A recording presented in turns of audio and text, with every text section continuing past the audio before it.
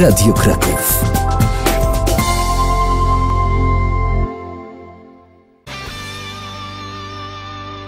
Zaczynamy Radiostradę i zaczynamy ją od wieści ze stacji paliw, bo w tym tygodniu małopolskich kierowców spotkała niestety niemiła niespodzianka. Na zakończenie wakacji ceny benzyny i oleju napędowego wzrosły o kilka groszy, ale i tak najbardziej podrożał gaz ziemny, który kosztował mniej niż złoty 90, a teraz trzeba za niego zapłacić średnio złoty 95.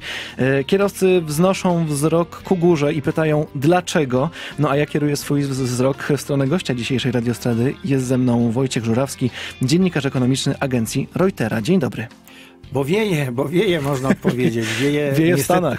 Wieje w Stanach Zjednoczonych, wieje w Teksasie i w Luizjanie. Zamknięte są zakłady przeróbcze, wstrzymane jest wydobycie z części platform na yy, na tych akwenach, y, które są przy Luizjanie i to cała Zatoka, Zatoka Meksykańska przygotowuje się na kolejne uderzenie huraganu i to powoduje, że w Stanach Zjednoczonych powstał niedobór około 2,5 miliona y, baryłek ropy w ciągu, w ciągu jednego dnia.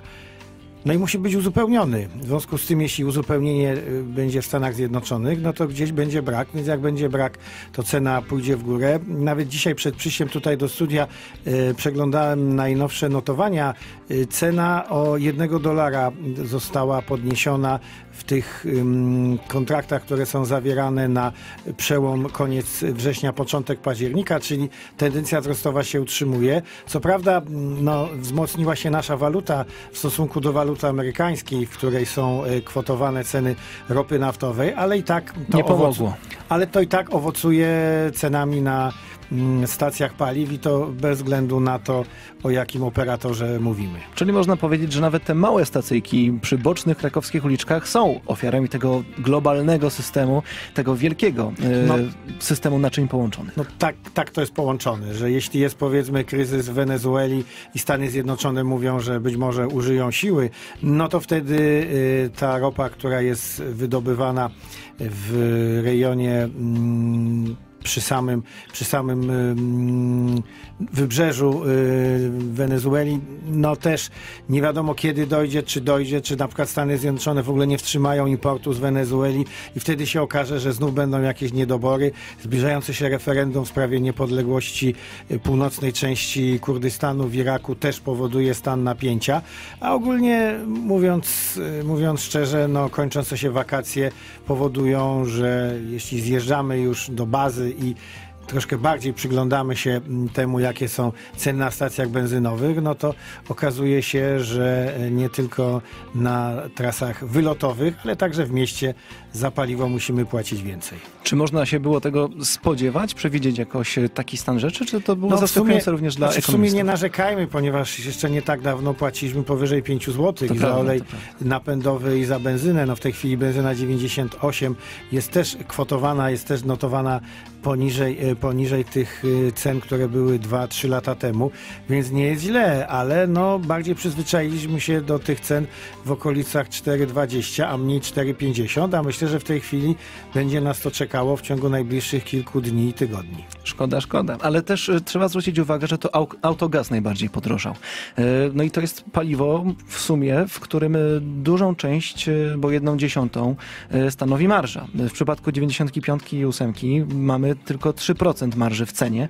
Y, w przypadku autogazu to jest 10%, y, jak wynika ze schematów i badań. No i skąd ten wzrost właśnie w przypadku LPG? Trudno określić. Wydaje się, że to też są y, takie ruchy cen wynikające z podniesienia cen hurtowych, ponieważ głównym dostawcą jest w tej chwili Białoruś i Rosja do Polski, więc ruchy, które się dokonały tam, w, przy jakby regazyfikacji. To wszystko przekłada się na ceny wyrażone w złotówkach, a poza tym to, to trochę jest tak, że y, ci, którzy jeżdżą na autogazie, no troszkę są, troszkę są skazani na to, że jak już przerobili i mają te instalacje, no to no to muszą jeździć, więc być może też y, sprzedawcy mają takie poczucie, że w sposób troszkę taki bardziej złowieszczy można roztoczyć nad nimi te podwyżki, no bo i tak nie będą w stanie, nie będą w stanie z tego zrezygnować, zwłaszcza, że y, jak zauważyliśmy, część y, kierowców, którzy właśnie mają y, te zbiorniki na LPG, zaczęło tankować nie na tych mniejszych stacjach, ale Mhm. tankuje na tych sieciowych, sieciowych dużych stacjach, które, które, mają, które mają zbiorniki i to oferują. No i już sam fakt, że się właśnie korzysta z tych stacji benzynowych o wyższym standardzie, wyższym poziomie, powoduje, że wyższe są ceny. No i tak to, tak to troszkę wyszło, że te właśnie no, 10 groszy no bardzo boli. A jednocześnie już wieczorami czuć troszkę po kościach, że nadchodzi zima, więc LPG będzie jeszcze droższe. Wejdzie w życie ta, ta nieco zmieniona mieszanka, która zwykle przed zimą właśnie jest I ona sprzedawana. kosztuje więcej, bo Ona dopiero więcej. w momencie, kiedy zaczynają się mrozy, Tak. do oleju napędowego y, dodawane są te uszlachetniające związki, no ale mm, myślę, że to trochę jest tak, że powinniśmy się przygotować mimo wszystko na podwyżki i nie zdziwiłbym się, gdyby jeszcze do do świąt y, w okolicach 4,70, 4,80 y, kształtowała się cena, cena benzyny, a 4,50 olej napędowy. Ta tendencja niestety jest wzrostowa i można się spodziewać, że jeśli nastąpi gwałtowne ochłodzenie wcześniej, a takie są zapowiedzi meteoprognozy, no to, to możemy to odczuć w kieszeni i w baku. A czy możemy liczyć na pomoc y, decydentów, rządu w tym Nie, nie, przypadku? no nie, nie, ma, no. nie ma mowy, żeby ingerować jakkolwiek w te, No myślę, że niwelować te różnice. No myślę, że nie. Przecież nie tak dawno była idea dosyć, dosyć powszechnie lansowana podwyżki i wprowadzenia tej opłaty na mm, modernizację i budowę dróg lokalnych, która jakby logicznie e, no, była, była mm, wynikała z pewnych potrzeb, które, które są, które są mm, w Polsce. No, zawsze mówimy, że jak coś się coś się podnosi, to, to to bije po kieszeni. Natomiast no, jeśli tam zauważyliśmy, że ten cały pomysł jakby nie wypalił, no to dla rządu, który w dużej mierze też zyskuje na VAT-ie, no im wyższe, wyższa jest cena tak zwana bazowa, Mhm. no to doliczając 23% VAT-u, no to więcej tego VAT-u wpływa do Ministerstwa Finansów i myślę, że tutaj ruchów y, mających na celu obniżenie nie będzie, a myślę, że resort finansów się będzie cieszył z tych wyższych cen, no bo to jednak będzie powodowało zwiększenie wpływów o ładnych kilkaset milionów złotych, a, a to w skali kraju się liczy. Tym bardziej, że ja sobie przed tą rozmową wydrukowałem też taki wesoły schemacik. Właśnie z czego się składa, można powiedzieć, cena benzyny i taki kanisterek tutaj mam. E, No faktycznie, podatek akcyzowy to jest 26% ceny, mniej więcej, opłata paliwowa e, 7% w przypadku oleju napędowego, 3% benzyna 95%, no a VAT faktycznie, ta wynikowa cena no to już jest prawie 20% całkowitej kwoty za litr. No i to daje, to daje duży zastrzyk y, finansowy No potężny, do budżetu, tak potężny. Zwłaszcza, że w tej chwili szara strefa została w sposób znacząco ograniczona, więc myślę, że y, minister rozwoju i finansów, wicepremier Morawiecki, no, z tego układu jest zadowolony.